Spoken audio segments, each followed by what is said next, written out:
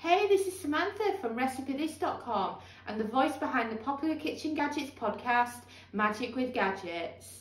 Today I wanted to show you just how simple it is to reheat your favourite fried fish in the air fryer. We've grabbed some fried fish fillets from the supermarket and we'll be demonstrating with them just how easy it is to reheat your fried fish.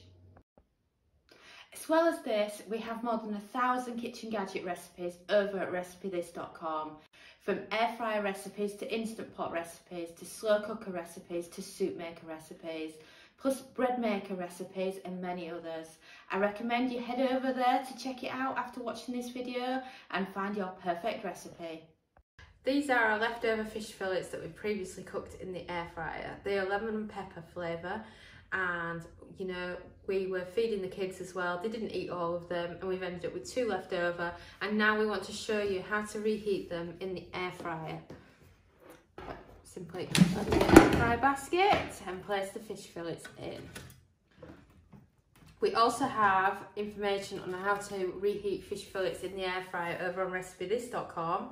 They do note that the ones we were using there was thicker which might be good for you because maybe you're looking at these thinking mine are much bigger than these.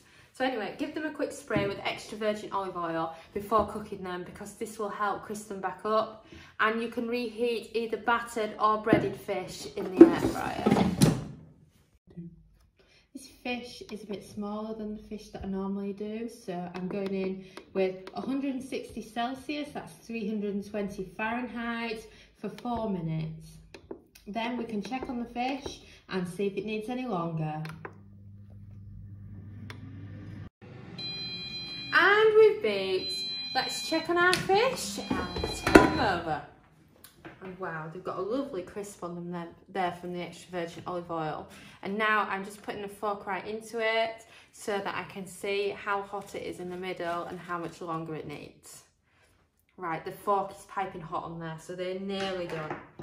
So now I'm just going to turn them over.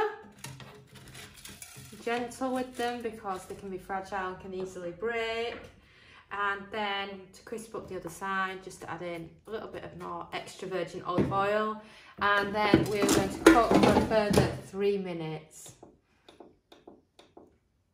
And then press start. And we've baked and wow, as you can tell, the fish is much crispier now and it's perfectly cooked, reheated and ideal for serving up again. Another tip I could give you is that if you love fish chips and mushy peas, what you could actually do is you could reheat the fish, the chips, and then put your leftover mushy peas into a little ramekin and then reheat all three together in the air fryer. And this is the fish fillets that have been reheated in the air fryer. They're fantastic how crispy they become when they're air fried again.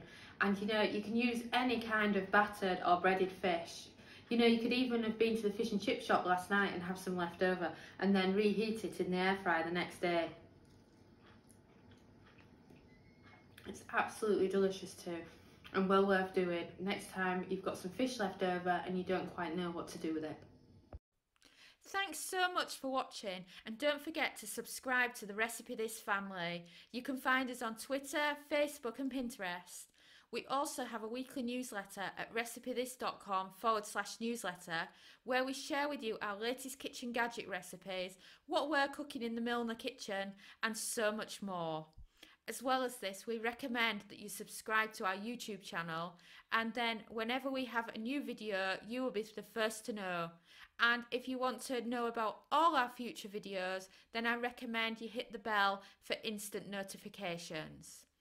But even better, we now have a podcast. It's called Magic with Gadgets. Simply search Magic with Gadgets on your favourite podcast player and you'll find us there.